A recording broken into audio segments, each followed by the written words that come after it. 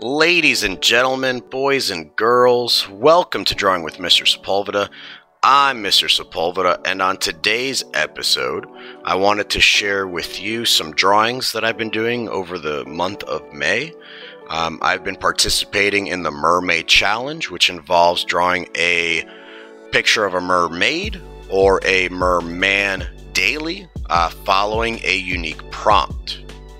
For each day of the month of May in this challenge, I will be using my students as reference for each picture.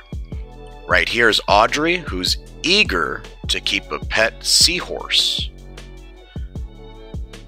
Right here is my student Zoe, and she loves sweets.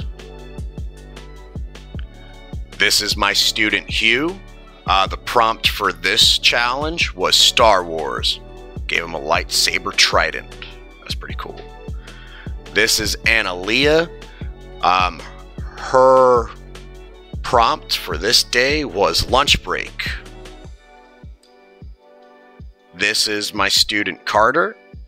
The prompt for this date was Sunday. This is Anish. He's a koi fish merman here. Uh, the prompt for this day was science. This is Shade.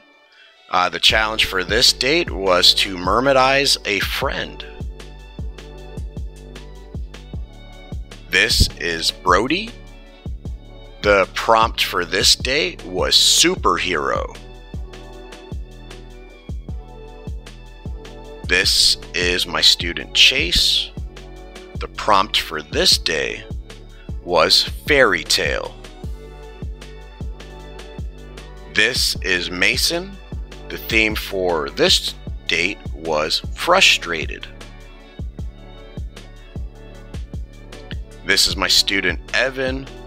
The prompt for this day was dragon. This is my student Kinley. For this day, the challenge was wildlife. The rest of the video is going to be about today's mermaid prompt, which is beached. And for this one, I'm using my student Peyton as reference, um, and I'll be turning her into a jellyfish mermaid. All right, ladies and gentlemen, I'm going to let you enjoy the rest of this time lapse. Um, if you guys liked the video, leave me a like. If you haven't subscribed yet, hit the subscribe button, and I'll see you guys in a couple of weeks.